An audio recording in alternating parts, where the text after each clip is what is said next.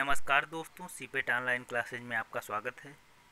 आज हम जो डीपीटी डीपीएमटी का जो मॉडल पेपर है, उसको सॉल्व करेंगे।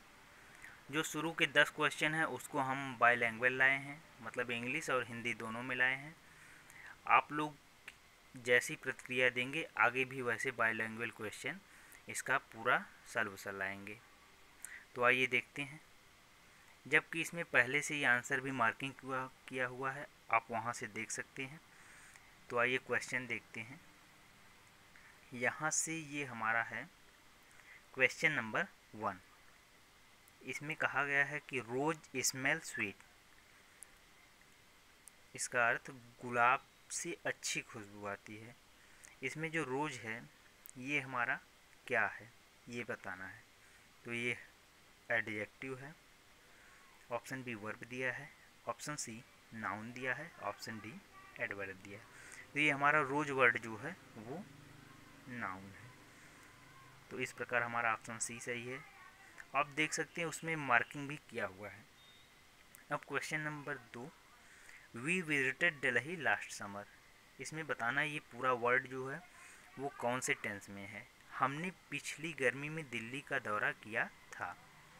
तो ये हमारा सिंपल पास्ट टेंस है। इसका option B. Question number third. I am not use dot dot up this early. तो इसका राइट आंसर ऑप्शन ए होगा।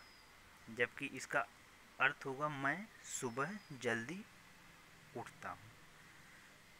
Question number four.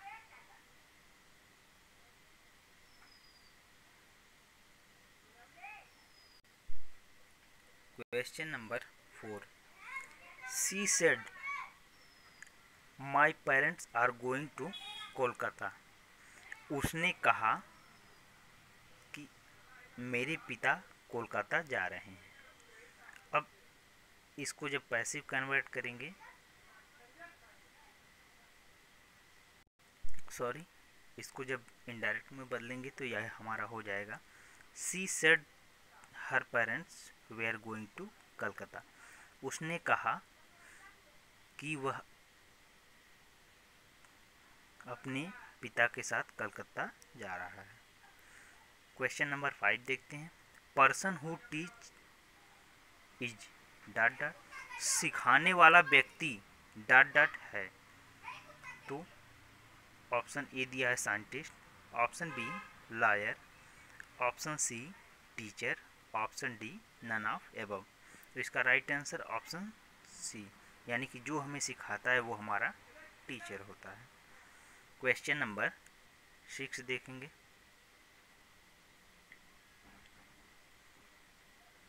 वायु air is dot dot than water वायु पानी से डॉट डॉट है? तो इसमें ऑप्शन ए दिया है। लाइटेस्ट ऑप्शन बी दिया है लाइट्स, ऑप्शन सी दिया है लाइटर, ऑप्शन डी दिया है आइदर ए और सी। तो इसका राइट आंसर ऑप्शन सी होगा, यानी कि वायु पानी से हल्का है। क्वेश्चन नंबर सेवन देखते हैं। Mary is, Maria is dot dot, than Geeta. Gita की तुलना में मारिया है। तो इसका ऑप्शन ए दिया है tall, option B tallest, option C taller, option D either A और सी। तो यहाँ से हम देखेंगे कि हमारा राइट आंसर ऑप्शन सी है कि Maria is tallest than, taller than Geeta. यहाँ से हो जाएगा मारिया, गीता की तुलना में मारिया लंबी है। क्वेश्चन नंबर एट दिया है लीव द रूम यानी कमरा, अब कमरा छोड़ दो। तो ऑप्शन ए ये हमारा डिक्लेरेटिव सेंटेंस ऑप्शन बी दिया है एक्सक्लामेटरी ऑप्शन सी दिया है इम्परेटिव ऑप्शन डी दिया है इंटेरोगेटिव तो ये हमारा इम्परेटिव सेंटेंस है। अब क्वेश्चन नंबर नाइन देखते हैं।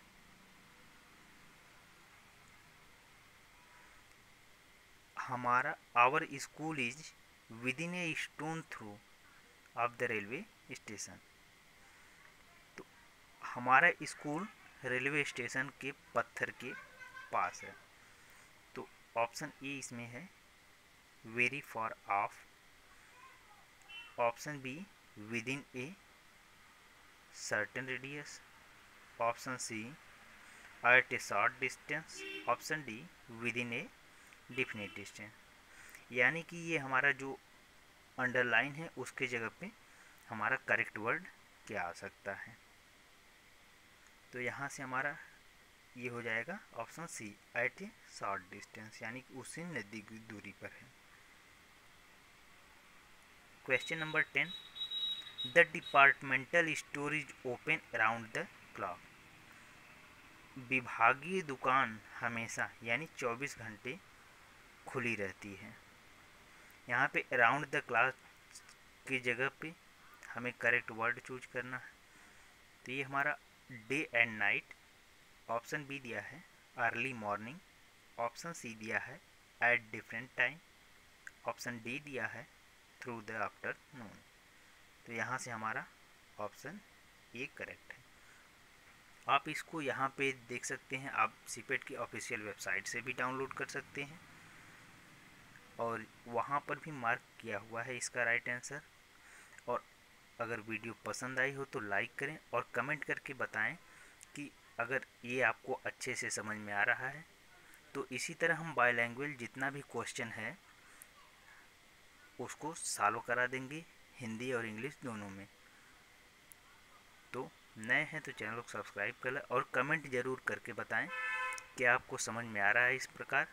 तो ठीक है, नहीं तो उसको सॉल्व करके आगे इंग्लिश और हिंदी दोनों में करके बताया जाएगा। अगर इस तरह आपको सही लग रहा है तो कमेंट ज़रूर करें। धन्यवाद।